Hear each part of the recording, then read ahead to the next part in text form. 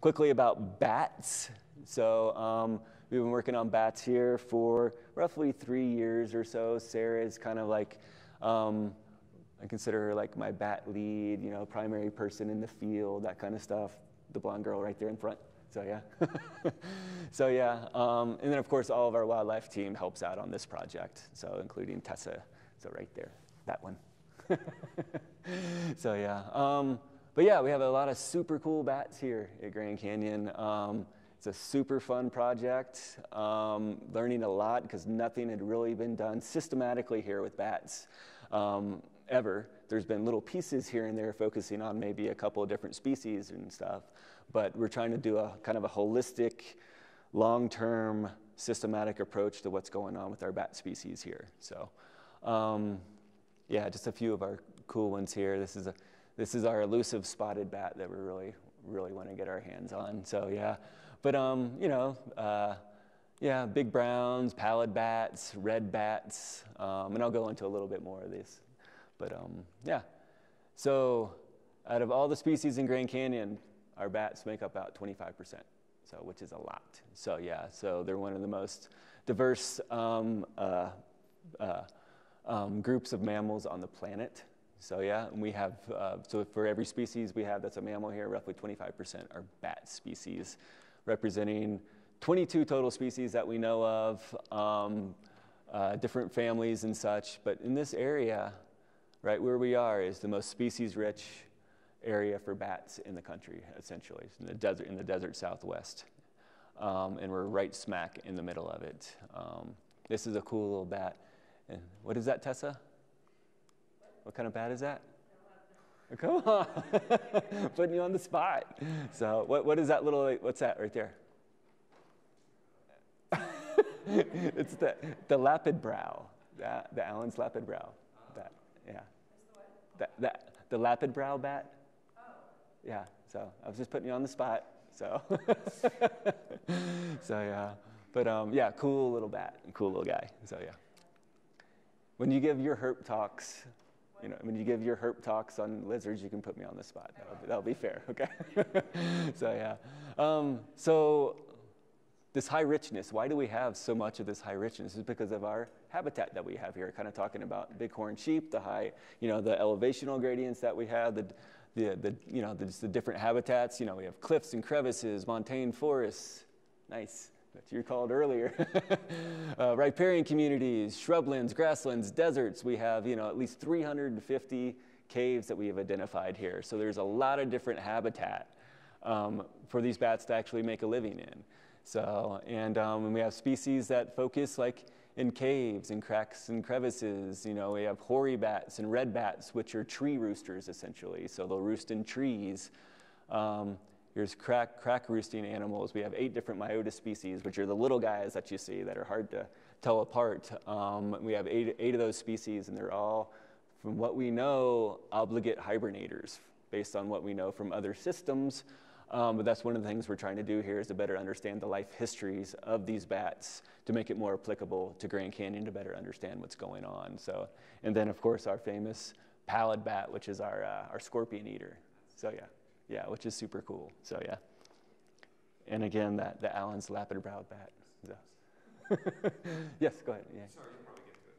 Uh, okay. What I was going to say, um, is there one, is the one that we're seeing on the rim along, you know, dusk, is that one primary bat? It could be a couple different ones, but a lot of times it's easy thing to remember. One of the main bats that comes out early that you see a lot is the canyon bat. So yeah, Parastrellus. So yeah, it's um it's a little dude. So yeah, and a lot of times you see that, and then a lot of a lot of the Myotis species will come out early too. So the little guys. So yeah.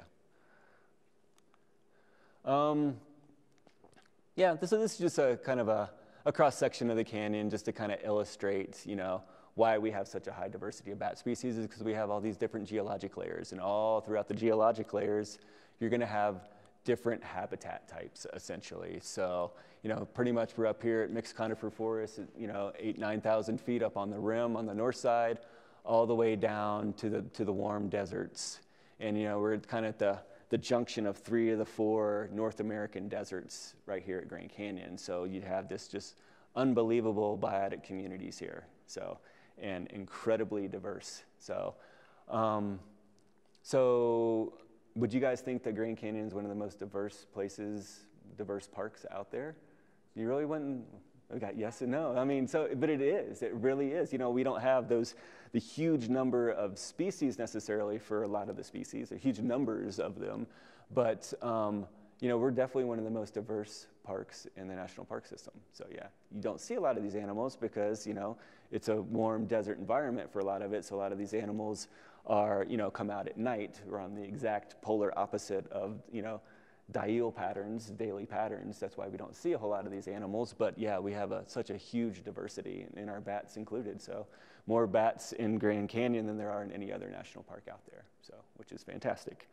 So um, just a few things. You guys probably already know this, but why do we care about bats? You know, so pest control. Um, they eat a lot of bugs. So. Um, what was it up to 12, what would I just write? 1200 and 1200 an hour for like little browns. So yeah, 1200 mosquito sized insects they can eat in an hour, which is amazing. That's one bat. So yeah, which is super cool. So yeah, and they're also, you know, um, help, help uh, hold and check uh, diseases throughout the forest. They're big pollinators and such. So yeah, super cool. So these guys are um, definitely friends to us, but they also need our help because right now they're in trouble. Who's heard of white nose syndrome? All right, so most everybody, it's basically it's a fungus. It's caused by a fungus called PD, and it basically gets on them, reproduces, spreads, and actually um, will infest bats called white nose syndrome. You know, it gets all over their face, their wings, and um, basically it's an irritant. It causes them to wake up when they're hibernating, expend their energy, and then they essentially die. So yeah, because they get in super low um, metabolic rates when they're actually hibernating, if they have to wake up out of that because they're itchy and such, it just burns so much of their fat reserves and they end up dying. So yeah. Um, and this thing has been moving very quickly, introduced in 2006 in upstate New York, and it has spread very, very rapidly to the west. And the, this is the most current um, image. Well, no, this is not the most current, actually. This is 2007. So we actually have um, PD, the fungus that causes the disease, actually up in, um, in Wyoming right now. So, and it's, so it's, it's slowly spreading this direction. And when it actually, if and when it gets to Grand Canyon, we have a lot to lose because of our high diversity of bat species. So that's one thing we're trying to do with this project is better understand our life histories of bats and um, in a pre-white nose condition because white nose is not here. So um, this is when it's projected to get here, you know, right around, you know, in a few years essentially. So yeah, um, and it's, it's, it's on the way. So yeah. Um, susceptible species, these are all of our species we've actually documented in the park, and we have a lot that are actually susceptible. Anything that is a hibernator, essentially, during the winter, is potentially susceptible to this. So we have, you know, eight different Myotis species. You know, we're going to have uh, Townsend's big-eared. We're going to have western bats, um, canyon bats, all these bats that are known to actually hibernate. And a lot of this is extrapolated from other areas because we don't know a lot about our bats necessarily quite yet.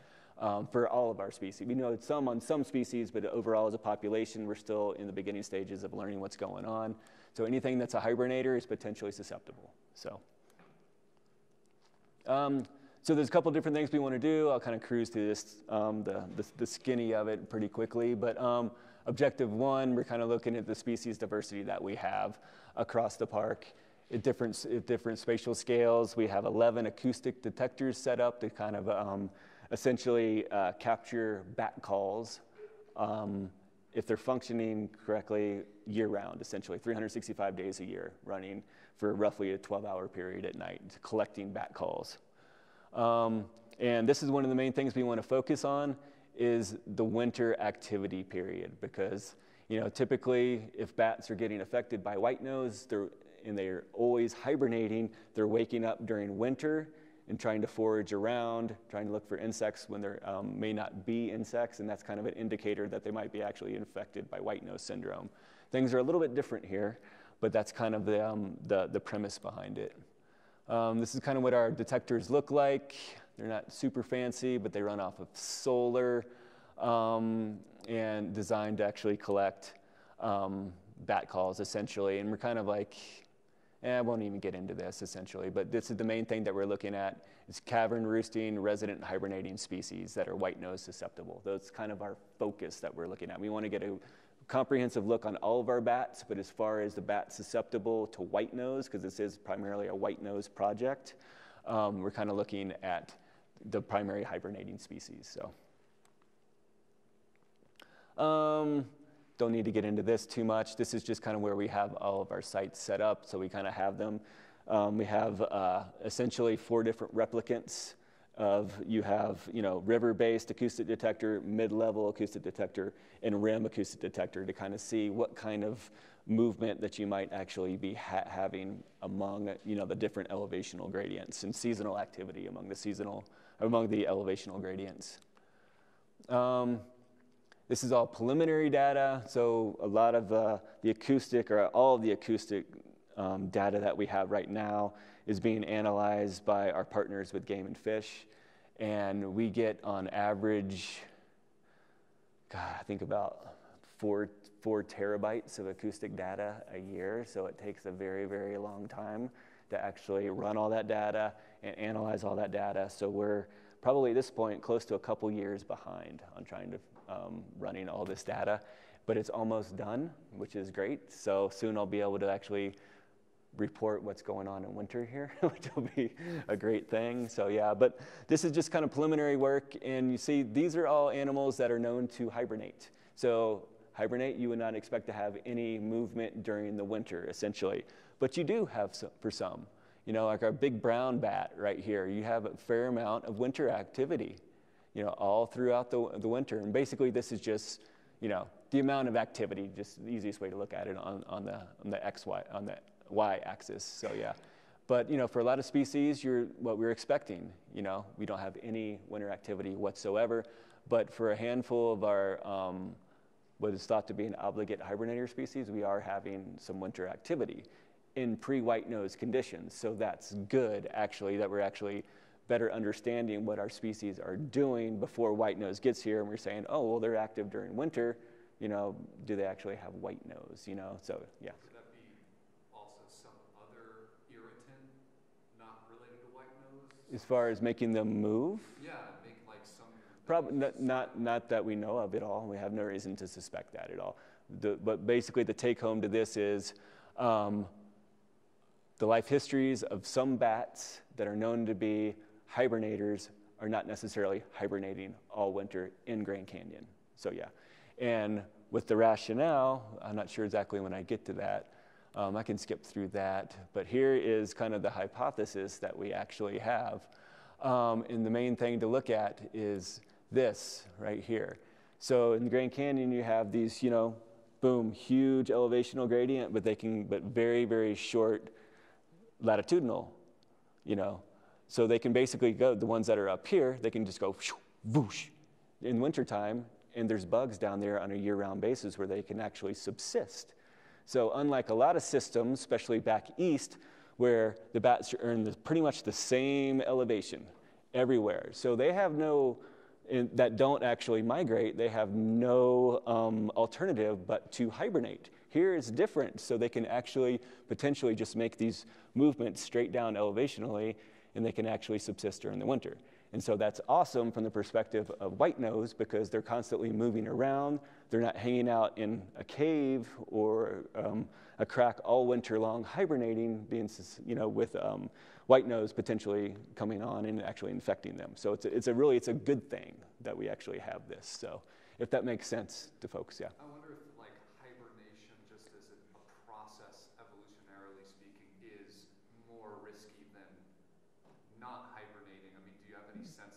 Not necessarily. So yeah, um, I mean, it just depends on where the bat is and what they've evolved to do. I mean, we have some species like, um, I don't have a picture coming up, but uh, the hoary bat. It's a tree bat, you know, and it's known to actually migrate from place to place. You know, migrate during the winter.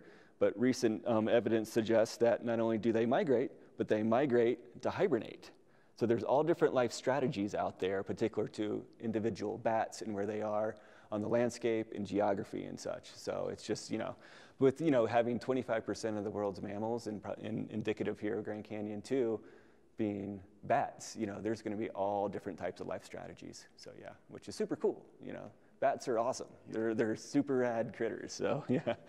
Um, so bat captures, so we also do a fair amount of bat capture work. Um, some cool bats we get, big browns.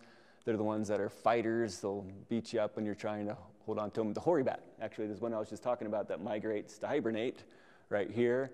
Tree bats, super cool. Pallid bats, which are you know our scorpion eaters. Lappet brow bats with these cool lappet brows here. So yeah, so lots of cool diversity. Um, so this is just some kind of richness. This is kind of what you would expect um, a little bit. So basically the, what this just shows is most of the abundance that we're actually do, getting during our capture work occurs during the summer months. And that just makes sense because, you know, all bats that we have are going to be active during the summer months for the most part. So as you get into spring and fall, you're not going to have as much activity, essentially. And um, if you look at the rim elevation, the middle elevations, and the river elevations, typically you're going to have um, more richness and abundance of bat species in these higher elevations. Um, to some degree, but this can also be misleading as well because at these high, at these summer, at these rim elevations, what you have is point water sources. Water source where bats have to come from all over the place, focus on that water source, that's where we do the capturing. So as you start working your way down to the river, where we're capturing bats are creeks, essentially. And so it's a long water source and it's more difficult to capture bats there too. So um, it's, uh, it can be a little bit deceiving there. Um, so our last objective is us. We are trying to figure out what's going on with our roosts in hibernation or hibernacula. Um, so basically, a few years back, um, built this cave temperature model to help kind of guide us on whether on where we would actually have hibernating bats. Um, the caves are getting very, they're very, very difficult to get to. So we've gotten to a handful of them. A lot of it was done by um, our physical science crew. Um, which now consists of Nick. so we've lost a lot of our physical science folks. Um, but the caves we were getting to, we're not really finding a lot of roosting bats. So the hibernacula is still kind of elusive for us. So, um, and so one thing that we're kind of wanting to, in, but out of the, the caves we did get to, um, we tried to find that nexus between optimal bat hibernation, which is a certain temperature, and optimal growth of the fungus that causes PD, trying to find that nexus to, fi- to where um, these bats would actually be affected by white nose, essentially. So, and we came up with a handful of caves, essentially, you know, right in that, you know, roughly 50 degree Fahrenheit range, and um, represented mostly in green here. And we've gotten to a handful of those caves and just haven't really found much. So, yeah. Um, so we're kind of starting to look to here's kind of the next move that I would kind of want to look at. So we do have bats in caves that hibernate, obviously, but um, this would be, considering what we have found, this would be a gigantic roost, a gigantic hibernacula. You're, what you're finding is like solo bats hibernating and such. So um, finding this with a bunch of bats together, we're just not finding it a whole lot. Um, so the next step is to kind of, there's people in other areas that have been finding hibernating bats and roosting bats in talus slopes and in cracks and crevices. And so that we have tons of that in the park. And so that's one area that we kind of want to focus on next. So yeah. So why don't, why do you think we don't find these massive exoduses, you know, bats since we have so many caves?